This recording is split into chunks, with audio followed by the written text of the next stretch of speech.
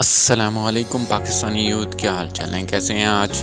ठीक ठाक हैं पाकिस्तानी यूथ आपके लिए ख़ास तौर पे वो फार्मर्स के लिए जो है, आज एक सोल्यूशन लेके आ रहा हूँ। जो कि बहुत मेन प्रॉब्लम है किसी भी डेयरी फार्मर के लिए कि उन्होंने जब बिज़नेस करना स्टार्ट करना होता है तो उन्हें सबसे बड़ी हर्डल आती है लेबर की। लेकिन लेबर अगर आपको सही नहीं मिलती, ट्रेन लेबर नहीं मिलती तो आप ये श्योरिटी ले लें कि आप 50 परसेंट फेल बिज़नेस में कदम रख चुके हैं। ये आपका बिज़नेस फ्लॉप होगा ही सिर्फ़ लेबर के हाथों।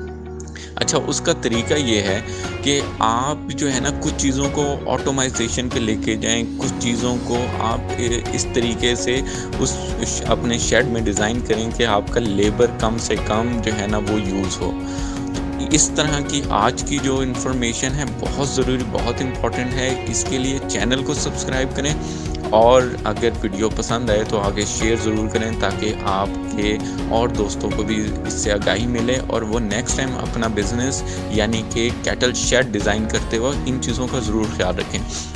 अब आप देख रहे हैं कि ये सिस्टम जो है, ये सिस्टम फ्लैश सिस्टम इसे पूरी दुनिया में कहा जाता है। ये वो सिस्टम है जिससे आपकी लेबर भी बचती है, कम टाइम में आपका काम हो जाता है और सफ़ाई वो जो आपके दिल को अच्छी लगे, वो होती है। फ्लड सिस्टम के थ्रू क्या होता है कि तकरीबन दो दो से ढाई इंच के लेवल का पानी जो है वो आपके एनिमल स्टैंड के फ्लोर पे बहुत तेज़ी से जो है ना मूव करता है और जितनी डंग गोबर और यूरिन वगैरह उस पड़ी होती है, वो सारी क्लीन कर देता है। इसका बहुत इजी तरीका है कि इस सिस्टम को जब आप लगाएँ तो आपने एक चीज़ का ख़ास ख्याल रखना है कि आपने जो आपके स्टोरेज टैंक होंगे वाटर के, आपने उनको दिन में दो से तीन बार भरना है और उसके दरमियान आपने जो है वो फ्लैशिंग टाइम अपना हर तीन घंटे बाद रख लेना है। हर तीन घंटे बाद आपने इसको फ्लश करना है तो इस तरीके से पूरे दिन में आप जो है बड़े आराम से ये सारा सिस्टम करेंगे और इसमें एक बंदे की ज़रूरत होगी।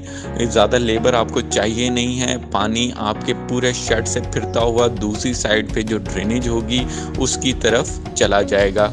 और ये आपको एक क्लीन माहौल देगा, जिससे जो आपका एनिमल है ख़ास तौर पे जो कि एनिमल इम्पोर्टेंट एनिमल में डील करते हैं और क्रॉस में डील कर रहे होते हैं क्योंकि वो प्रोटेक्शन ज़्यादा लेना चाह रहे होते हैं। तो एनिमल जो है वो स्ट्रेस में आता है और एनिमल स्ट्रेस में हमेशा अपने माहौल की वजह से आता है। जब वो गंदगी में बैठा होता है, अमोनिया गैस जो है वो उसकी सराउंडिंग में होती है तो वो उस अमोनिया गैस से मुतासर होता है। वो सर्दी हो, गर्मी हो, कोई भी सीज़न हो, आपको सफ़ाई बहुत ज़रूरी है। सफ़ाई आपको रखनी ही है शेड में और अगर शेड साफ़ नहीं होगा तो फिर इतने करोड़ों रुपए के शेड बनाना, इतने महँगे महँगे स्ट्रक्चर्स बना देना और उसके बाद आपसे अगर सफ़ाई ही कंट्रोल नहीं हुई तो उसका कोई फ़ायदा नहीं है, क्योंकि हमारे अबाव अजदाद जो है, वो दो चार गायें, भैंसे रख के तो नॉर्मली गोबर को हैंडल कर लिया करते थे, लेकिन आज का दौर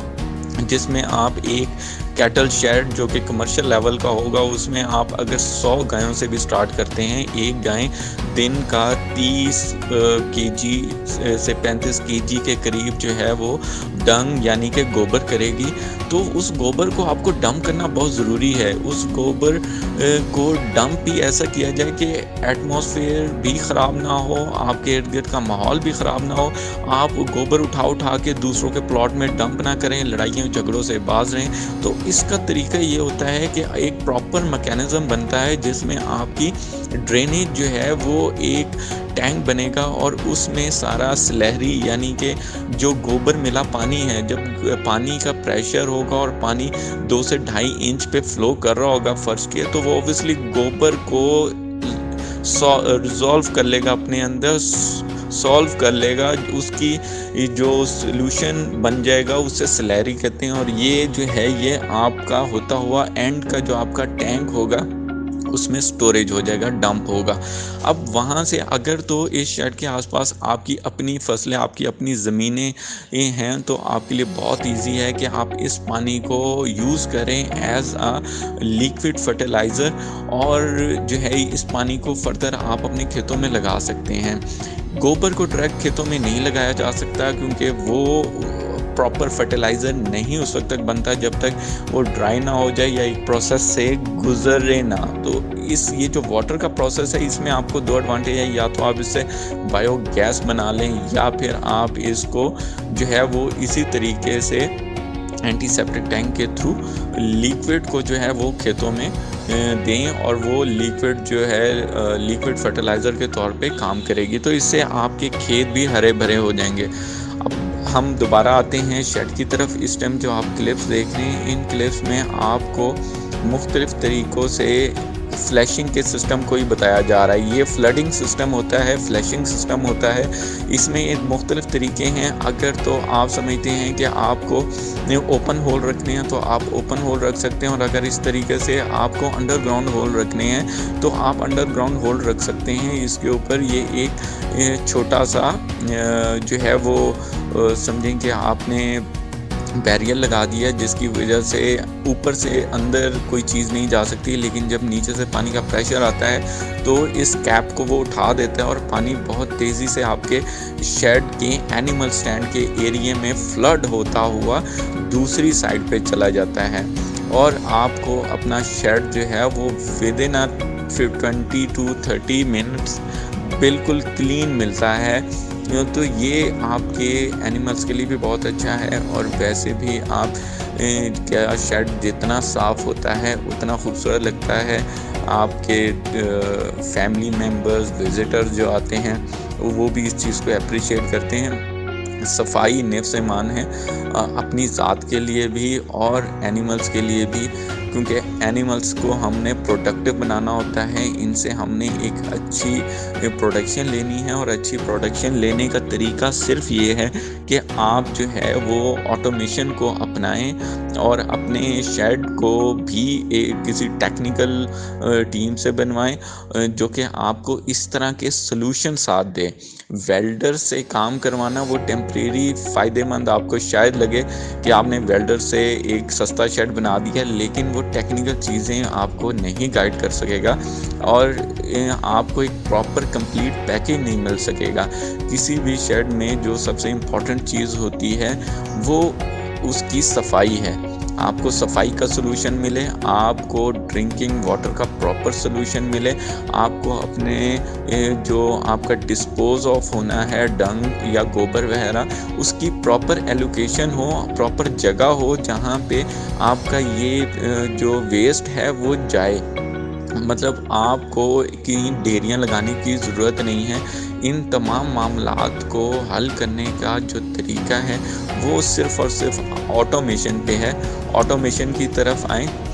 इसी तरीके से ड्रिंकिंग वाटर का सिस्टम जो है, उसको भी ऑटोमेशन पे लेके जानवर जो है, वो आपका इंतज़ार नहीं करेगा कि आपने बाल्टियाँ उठा उठा के जो है लेके आनी है और उसे डालनी है। तो आप वहाँ पे भी उसका ड्रिंकिंग सिस्टम जो है वो भी इसी सिस्टम के साथ अटैच कर सकते हैं। ये पाकिस्तान में पानी की शॉर्टेज नहीं है और इस तरह का सिस्टम जो है, ये यूरोप अपना रहा है। हालाँकि यूरोप में पानी की शॉर्टेज है। और वहाँ पे पानी इस तरह अवेलेबल नहीं, जिस तरीके से पाकिस्तान में हम पानी को ड्रिंकिंग वाटर ख़ास तौर पे जो है हम ज़ाया करते हैं। यूरोप की साइड पे वेस्ट वाटर ही वेस्ट और इस तरह की जगहों के लिए इस्तेमाल किया जाता है।